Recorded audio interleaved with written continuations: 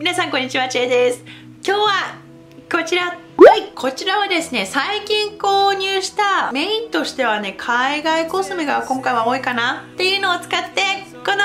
前にもね、こんな感じのルックは何回か作ったことがあるんじゃないかなと思うんだけども、最近ね、購入したアイシャドウがめちゃくちゃ可愛かったので、それを使って改めてこういうルックを作ってみました。気になる方はこのままご覧ください。どうぞ。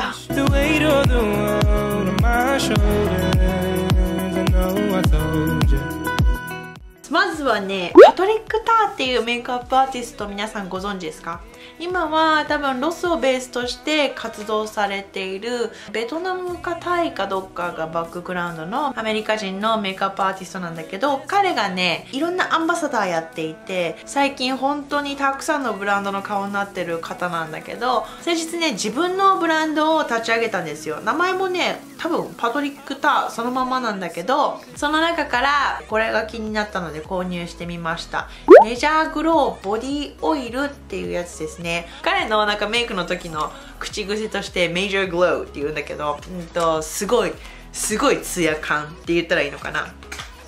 ツヤ感を大事にするメイクをされる方で常にね彼は小さい時から女性の美しさにねこう魅了され続けてきたって言っていてでこう女性が綺麗になるっていうところを見るのも好きだしこう綺麗にしてあげるのももちろん好きだしっていうことでツヤ感で綺麗さをこうなんていうのよりエンハンスするっていうのかなより綺麗に見せるっていうことに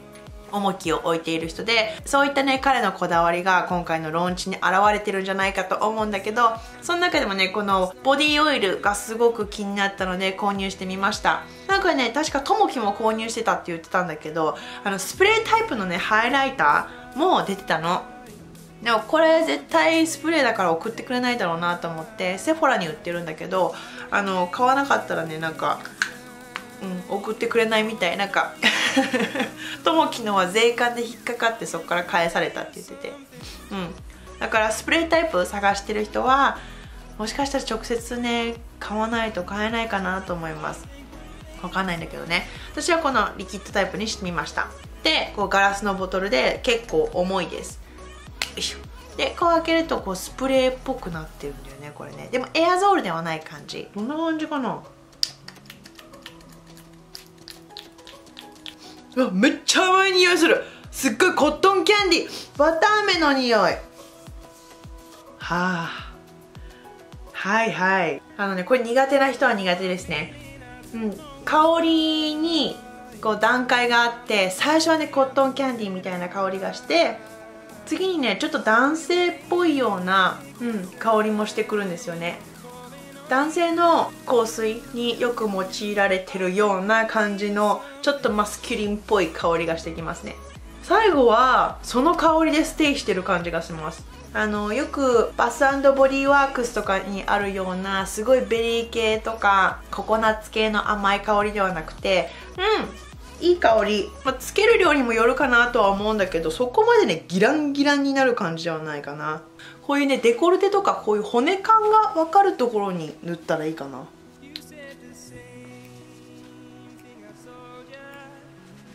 わかるかな？なんかもう肌色で何が何だかみたいな。水着になったりとかそういう時にあの若い子はいいんじゃないでしょうか。私はこれねなんか撮影で使おうかなって思ってます。ちょっとねこうあのハイライターなツヤだとちょっとやりすぎ感が出るかなっていう時とかこういう感じのグロー感があるオイルをつけると乾燥もね飛ばせるとともにツヤも綺麗に出ると思うのでそのように使おうかなと思っております。うんうんうんうんうんうん。良き私が購入してみたカラーはアドリームっていうカラーですね。はいそしたらベースはねプリマビスタのベースを変わらずつけていこうかなと思います。皆さんお元気ですか？私は元気です。あのー、やっと声治ってきて声出てるね出てるね。まだなんか完全復活っていう感じではないんだけどなんか毎年動画でも言ってる気がするんだけど毎年私この季節とか季節の変わり目に失敗するとあの気管支炎になるんですよ。でなんか風邪じゃないんだけどちょっとした喉風邪から始まるのかないつも。大体あなんか喉がイガイガするっていう時のなんかね位置がねあるんだよね。あの奥の方まで行っちゃった場合はもう気管支炎になるんですよね。そっからじわーっとこう広がっていくのを買って。だからその時はもう早めにあの気管支炎のシュッっていうやつなんかこうカタツムリみたいな丸いなんか昔そういうガムあったよねみたいな感じのあ持ってくるわ。これ？これをやってあげると結構あの楽になるんですよね。なので気管支炎ねずっと引きずってると本当に悪くなっちゃうんだよね。私も最初に気管支炎になった時に結構引きずってね3ヶ月以上確か咳してたの。お薬と本当に仲良くやっていった方がいいと思う。私もね薬をあんまり使うのが嫌な人なのでなんとなく避けてたんだけど気管支炎はね本当に治りづらい臓器の一つ臓器だよね。うん。の体のパーツの一つなのであの一回ねこじらしてしまうと厄介になっちゃうから私みたいに。あのちょっと怪しいなとか咳続いてるなと思ったらお薬でピャッと治してもうそれ以上なんか広がらないっていう風にしてあげた方がいいと思う。じゃないと本当にねぶり返すんだよね。これは私が学んだこと。ファンデーション。ファンデーションはキャンメイクのクリーミーファンデーションスティック。私のカラーは02番。こちらを使っていきます。これさうんとガラガラの声で使用感をねアップデートしたんだけど皆さんこんにちはチューですちょっと声が出ないんだけど今日はあの昨日のキャンメイクのファンデーションの下にえーとプリマビスタの下地をしてみたのね。そしたら結構ロングラスティック。本当にねこのプリマビスタの化粧下地と合わせて使うとすごくね綺麗にね長持ちしてくれます。でこの値段でしょ？本当にねいいファンデーションだと思う。伸ばしていきます。あ最近よく聞かれるこのアーティストのブラシなんだけどやっぱり高いからどれを買ったらいいですかっていう声がねすごくねたくさんいただくんですよ。見ていただいてありがとうございます。私がねおすすめするサイズはねまさに今これ使ってるオーバル7オーバル8だと結構大きくなって6よりさちょっと大きくて。でもね多分細かいところにも行き届くしコントワリングとかもパウダーできるしチークとかもできるしこれが一番ちょうどいいサイズなんじゃないかなと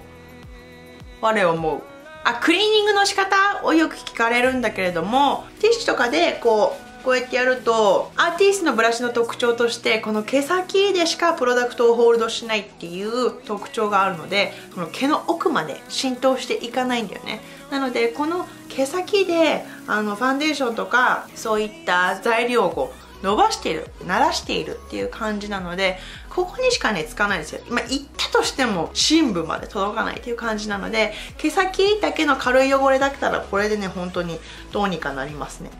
でこれで23回使ってやっぱちょっと気になるなっていう場合はあこれ自分で使う時だけねあのお客さんとかに使ってる方は毎回あの洗った方がいいと思うんだけど普通にブラシを洗うのと一緒にこうやってあの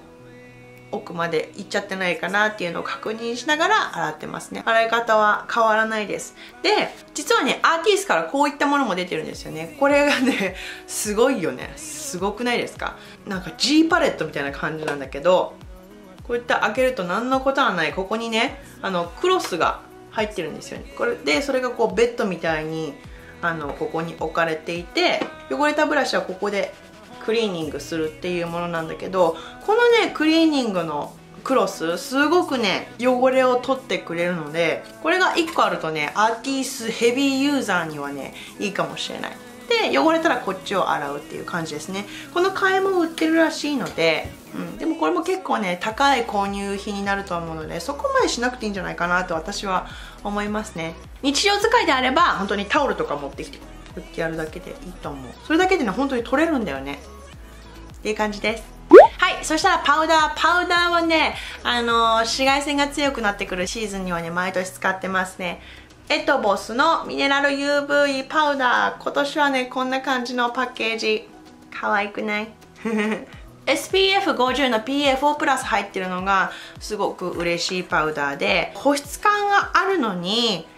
ちゃんとねサラサラ感も残って一日中ね崩れにくくしてくれるのがすごく好きです。最近はほんとこういうパフとかをね使うようにしてます。それでねちょっと多すぎるなっていうものを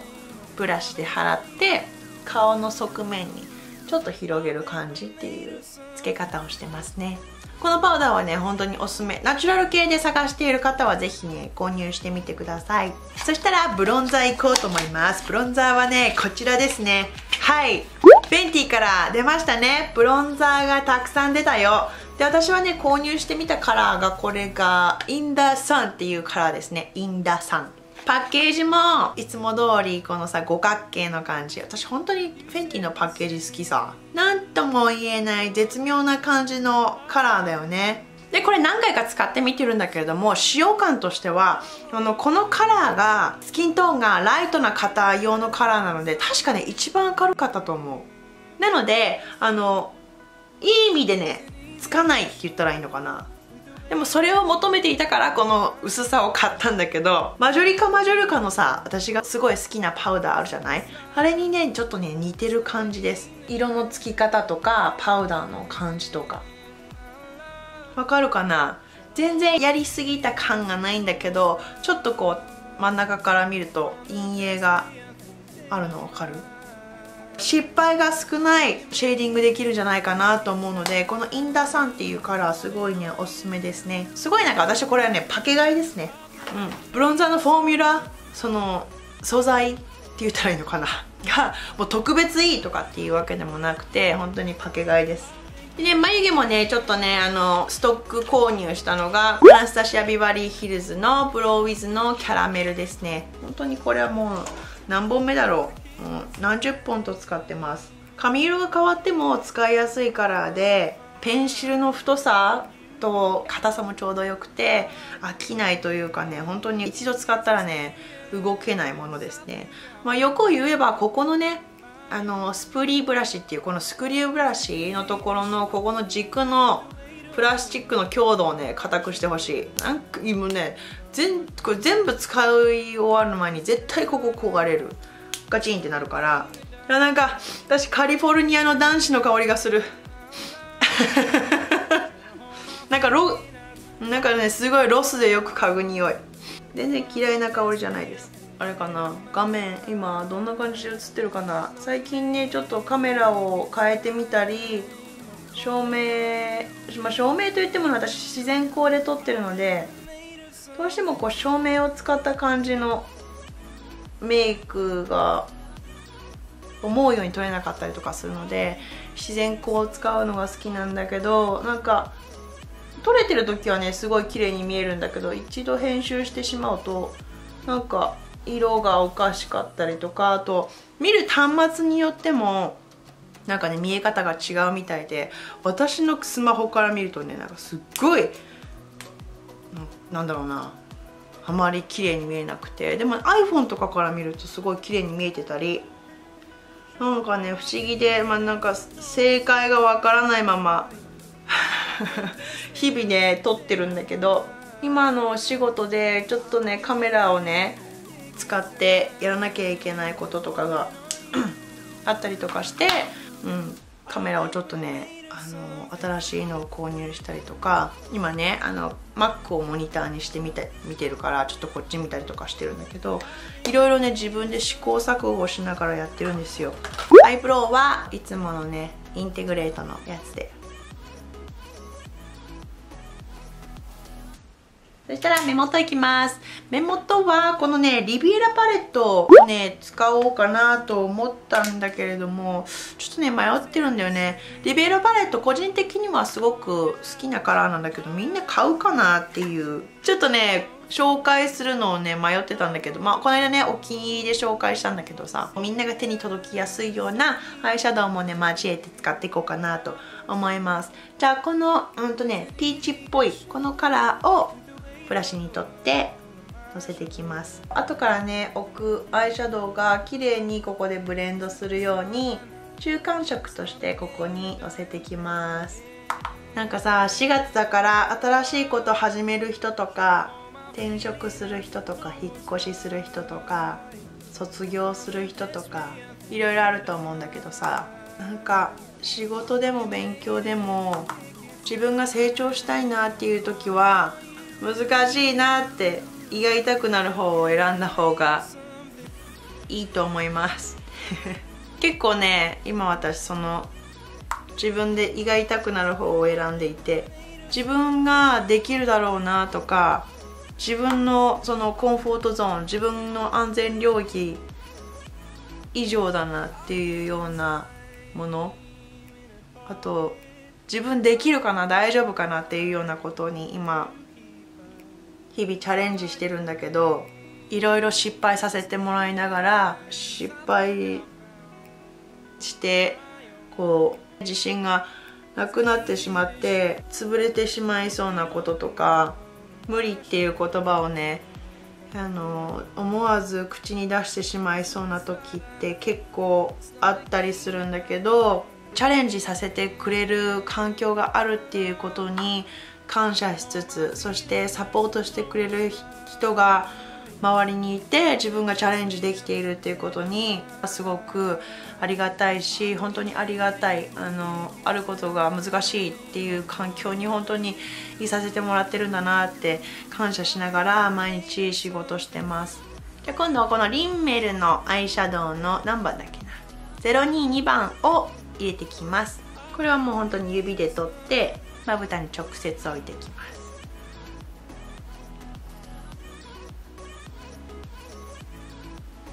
そういう中で仕事するってすごいねプレッシャーだししんどいんだけどね自分のベストでやり尽くしたいなっていう思いで仕事してるんだけど、まあ、何を言いたいかというと、まあ、見てるみんなもそのいろんなねプレッシャーの中で仕事してたりすると思うの。ちょっとこれを目尻に入れていくね。これはね021番か。今辛くてしんどい仕事とかも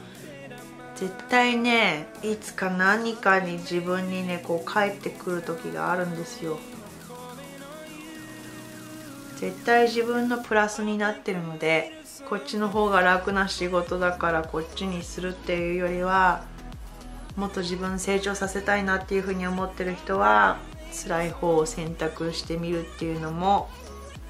手段だと思います。そしたら最後このね020番っていうこのねキラキラ系のピンクとブルーの感じのグリッター中央にのせてきます。今日はあんまそんなにギラギラさせたくないので。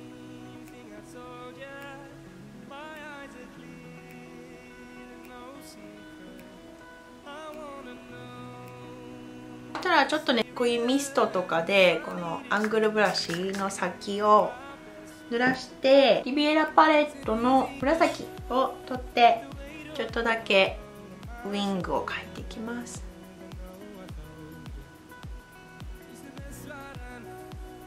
ほんの気持ちピュッて出るぐらい。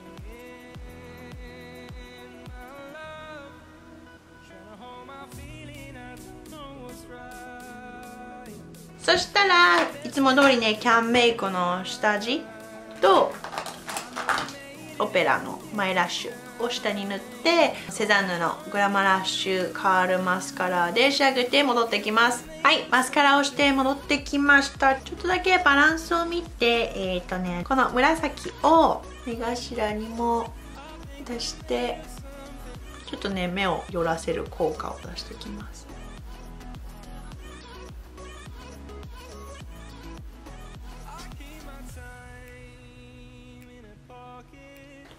そしたらチークなんだけどチークもさっきのこのねリンメルのアイシャドウに022番これをつけていこうかなと思います。すごくねピーチで可愛いカラーなので。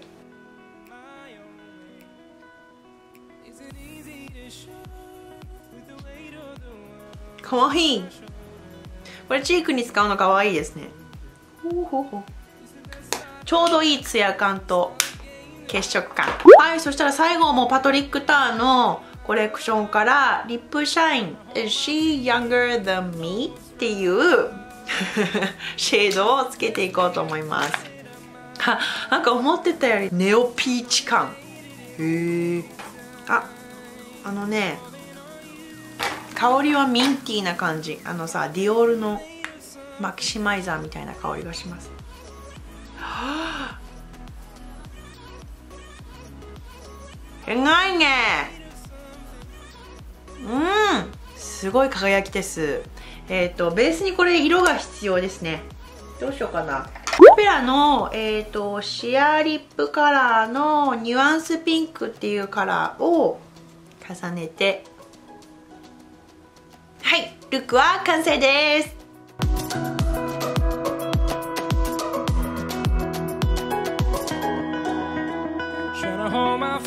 はいいかがだったでしょうか？今日は、えーと最近購入したものとエトボスさんのパウダーに関してはねいただいたものですね。を使ってこのちょっとねカラフルなメイクをしてみました。フォトリクターのコレクションは本当にねしまう感綺麗。綺麗っちゃ綺麗だけどまあなんかこう手持ちのハイライターでできなくもないなっていう感じかな。あの何でもいいんだけどさあのー、マックのさ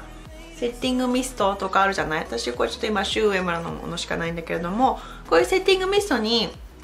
自分のねもういらないあのハイライターとかをこう砕いて混ぜてこうスプレーしたりとかすると同じ効果が得られるんじゃないかなと思うのでもしねその買うまでではないわっていう人はそういうのもねやってみるのいいかも。あのー、安い感じのさセザンヌのハイライターとか砕いてシュシュってやったらできるんじゃないかなっていう感じはするでもね香りまでは再現できないのかなまあ、自分の好みの香り加えてもいいのかな。うん。まあ、これはオイルで、あの、そういうラグジュアリー感を楽しみたい人には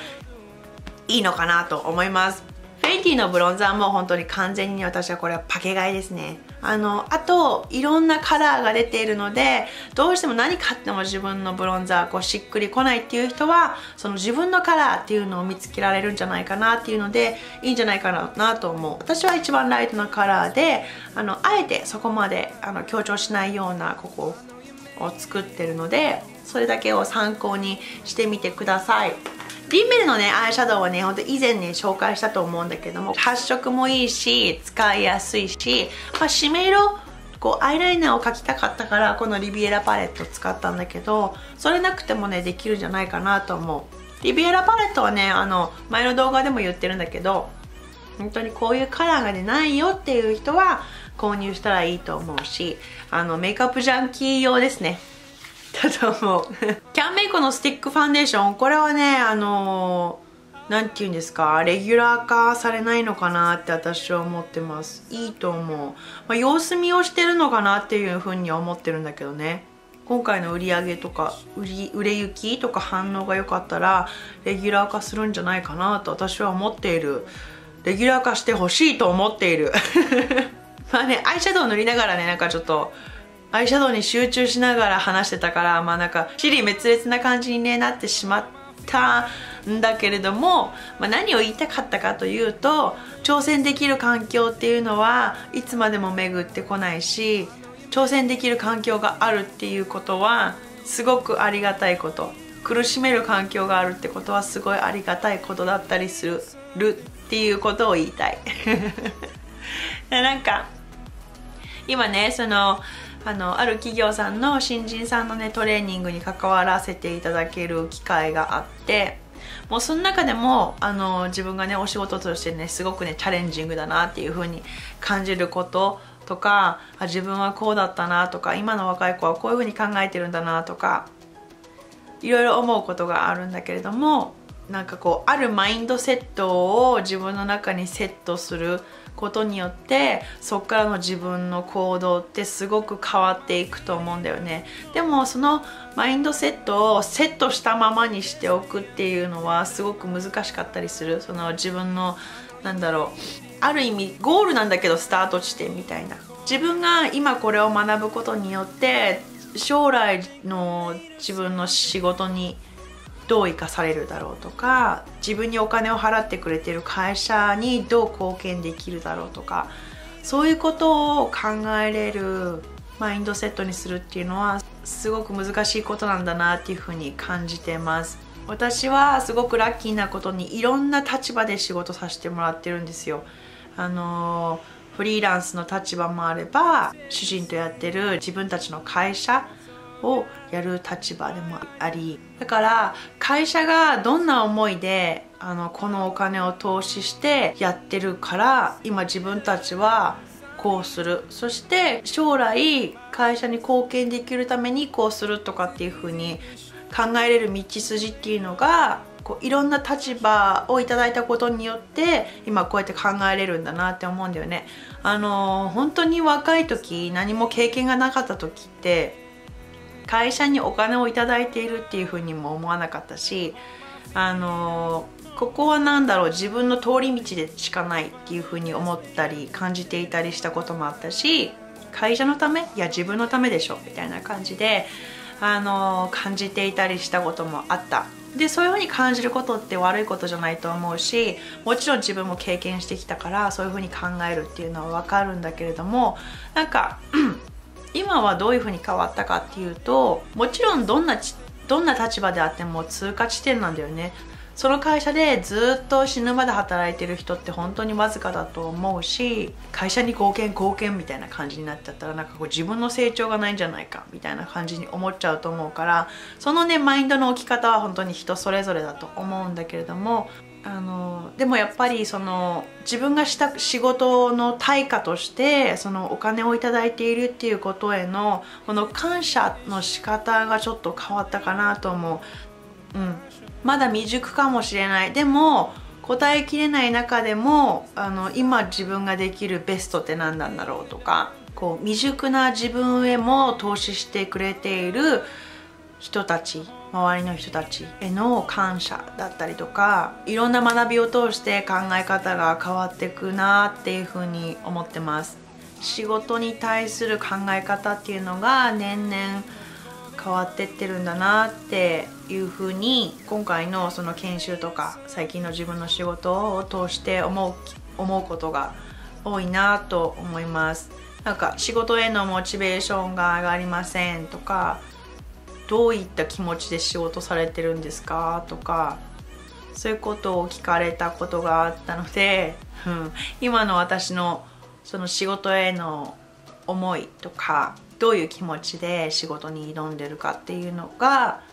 うんちょっとでもシェアできたらいいなって思ってこうやって話してたんだけど自分の心の中でも日々変化していく気持ちなのでそれを捉えてこう人に分かりやすいように伝えるっていうのが私にはちょっとね難しいんだけれども何かね参考になったら嬉しいなと思って話してます。皆さんの周りにも日々成長できるチャンスっていうのは転がってると思うのでそれをね見つけて本当に今日よりより良い自分になるために日々を楽しく過ごしていてほしいなと思います。ちっちゃなステップができた自分を褒めてあげて進んでいくっていうのがコツかなって思います。あのね本当にビッグステップはいらないと思う。ちょっとずつちょっとずつ。それが積み重なって1ヶ月経ったらおおこんなにできたかっていう風に思うこと増えていくと思うので